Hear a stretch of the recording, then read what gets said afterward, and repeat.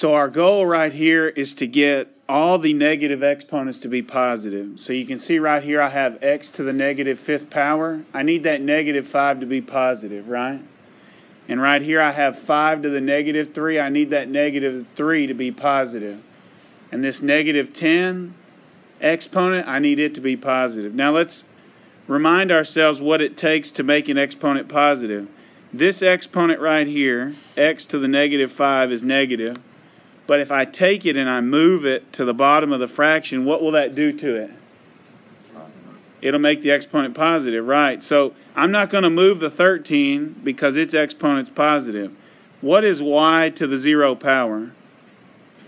1. Good. Anything to the 0 power is 1. Now, this 5 to the negative 3 on bottom, we're going to move to the top.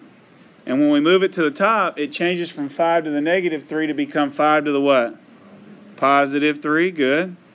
And then the z to the negative 10 that's on bottom, I need to move to the top, which will make its exponent positive. So that'll be times z to the positive 10, right? Now, let's think about what's on bottom. Both of these things that were on bottom, this and this, I moved from bottom to top, didn't I? Okay? I'm going to move this x to the negative 5 down here to the bottom. So I'm going to write x, but it won't be to the negative fifth power anymore. It'll be to the positive fifth power, won't it? Okay. Now are all the exponents in what I have left positive? Are all these exponents positive? They are. So now we're going to simplify. Use your calculator to tell you what 5 cubed is. It's 5 times 5 times 5, which I think is 125. Okay, and so I've got 13 times 1 times 135, I mean 125 times z to the 10th, right? And that's all over x to the 5th.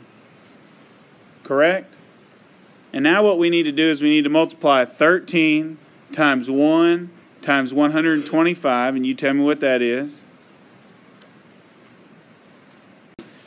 And so you've got 1,625 z to the 10th power over x to the 5th power, and that's your final answer right there.